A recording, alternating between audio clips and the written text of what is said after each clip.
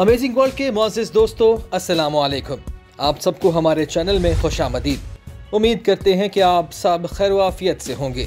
क्या आपने कभी ऐसे मुल्क के बारे में सुना है, जहाँ अस्सी फ़ीसद सिर्फ़ और सिर्फ़ रेगिस्तान ही हो? एक ऐसी जगह, जहाँ का मौसम बेहद निराला है। यहाँ का दर्जा हरारत गर्मी में 50 डिग्री तक जाता है और यहीं सर्दी में टेम्परेचर माइनस में पहुँच जाता है। दोस्तों, जिसकी आबादी हमारे लाहौर शहर से भी कम है। इस मुल्क को खूबसूरती में एक अलग ही मकाम हासिल है। और अगर आप एक बार यहाँ की लड़कियों को देख लें ना तो यकीन कीजिए, आप अपने होश गंवा बैठेंगे। ज़रा सोचें कि मैं किस जगह की बात कर रहा हूँ। क्या हुआ? नहीं समझ आया? तो चलिए कोई बात नहीं, हम आपको बताते हैं। तो दोस्तों, चलिए शुरू करते हैं आज की इन्फॉर्मेटिव वीडियो और जानते हैं एशिया में मौजूद मुल्क तुर्कमानिस्तान के बारे में। तुर्कमानिस्तान दुनिया का अकेला ऐसा मुल्क है जहाँ पानी बिजली और गैस यहाँ रहने वाले तमाम आवाम के लिए बिल्कुल फ्री है। जी हाँ उन्नीस सौ तिरानवे से ही ये सब के लिए फ्री है।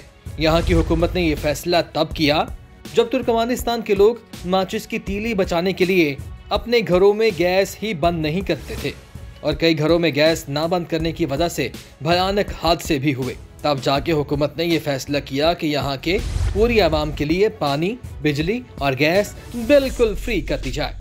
अब आप ये सोच रहे होंगे कि यार गैस बिल्कुल फ्री में देना ऐसे तो हुकूमत को भी बहुत नुकसान पहुँच रहा होगा। लेकिन दोस्तों हम आपको ये भी बताते चलते हैं कि ऐसा कुछ नहीं है क्योंकि तुर्कमानिस्तान दुनिया का चौथा सबसे ज़्यादा कुदरती गैस निकालने वाला मुल्क है। ये मुल्क ही कुछ निराला है। यहाँ आपको एक और बात बताते चलें कि 2014 में तुर्कमानिस्तान के 14,000 हेल्थ वर्कर्स को नौकरियों से निकाल दिया गया था। 2015 आते आते तुर्कमानिस्तान के दारुल हुकूमत के बाहर जितने भी अस्पताल थे, सबको बंद कर दिया गया। ऐसा इसलिए हुआ क्योंकि हुकूमत ने ये फैसला किया कि जितने भी लोगों ने इलाज कराना है, वो दारुल हुकूमत में आकर ही इलाज कराएँ, क्योंकि आबादी कम है। वैसे भी एक छोटा सा मुल्क है जहाँ पे ये मुमकिन हो सकता है। वैसे आप भी तो हमें बताएँ कि आप कौन से शहर से ये वीडियो देख रहे हैं। आगे चलने से पहले इस वीडियो को लाइक करें जो नए दोस्त हैं, वो इस चैनल को सब्सक्राइब करके बेल आइकन पर भी क्लिक करें, ताकि उन्हें तमाम आने वाली नई वीडियोस के नोटिफिकेशंस बाकायदगी से मिलते रहें। दोस्तों, अगर आप हिस्ट्री जानने का शौक रखते हैं तो हमारे चैनल दानिश्वर को सब्सक्राइब करें और जौक के नए सफ़र में हमारे साथ मिलकर चलिए। दानिश्वर का लिंक नीचे डिस्क्रिप्शन में आपको मिल जाएगा, जहाँ आपको हिस्ट्री और इसके अलावा बहुत ही इंफॉर्मेशन मिलती रहा करेगी। दोस्तों तो कमानिस्तान में जाकर किसी भी सिंगर के लिए लाइव परफॉर्मेंस देना इतना आसान नहीं है। जानते हैं क्यों?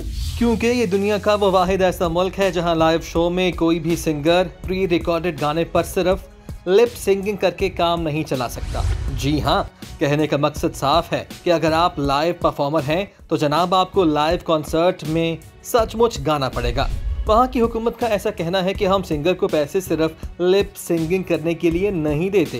तभी आपने देखा होगा कि बड़े बड़े स्टार्स सिंगर तुर्कमानिस्तान में जाकर परफॉर्मेंस देते हैं। दोस्तों, तुर्कमानिस्तान एक इस्लामी मुल्क है, लेकिन इस्लामी मुल्क होने के बावजूद भी यहाँ हर कोई अपनी दाढ़ी नहीं बढ़ा सकता। और सिर्फ़ यही नहीं, लड़के अपने लंबे बाल भी नहीं रख सकते। जी हाँ यहाँ पर आपको कोई भी ऐसा शख्स दिखाई नहीं देगा, जिसके बाल और दाढ़ी लंबे हों। ये कानून यहाँ की हुकूमत ने 2004 में नाफिज किया था। और दोस्तों, यही नहीं, अगर आप तुर्कमानिस्तान में गवर्नमेंट एम्प्लॉय हैं तो आप लाइफ टाइम सिगरेट के नज़दीक भी नहीं जा सकते। जी हाँ बिल्कुल, सही सुना आपने। यहाँ सरकारी नौकरी करने वाले लोग सिगरेट नहीं पी सकते। और अगर ऐसा करते हुए पकड़े गए तो नौकरी तो जाएगी, लेकिन साथ ही साथ उम्र कैद भी अलग होगी। दोस्तों, तुर्कमानिस्तान एक बहुत ही पढ़ा लिखा मुल्क है। यहाँ के लोग पढ़ाई में बेहद ध्यान देते हैं।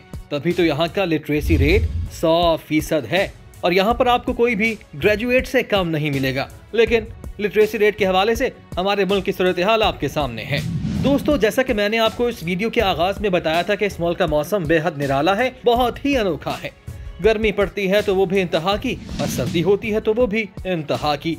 तुर्कमानिस्तान ज़्यादा बड़ा मुल्क नहीं है, लेकिन परेशानी ये है कि इस मुल्क का लैंड एरिया 80 फ़ीसद रेगिस्तान है। इसी वजह से तुर्कमानिस्तान काफ़ी हद तक अनाज के लिए दूसरे ममालिक पर इहसार करता है।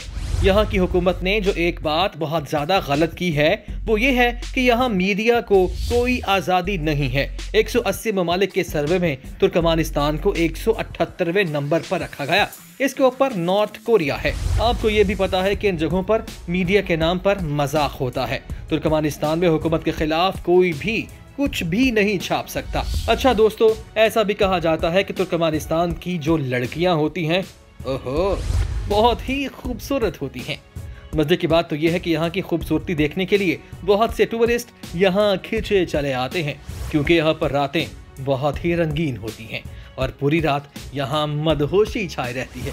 देखिए दोस्तों, हमने इस मुल्क के बारे में आपको बहुत सारी बातें बताई। अब आप हमें बताएँ कि इस मुल्क में सबसे अच्छी बात आपको कौन सी लगी है। कमेंट कीजिए और हमें ज़रूर आगाह कीजिए और इस वीडियो को लाइक करके अपने दोस्तों के साथ शेयर करना हरगिज ना भूलिएगा।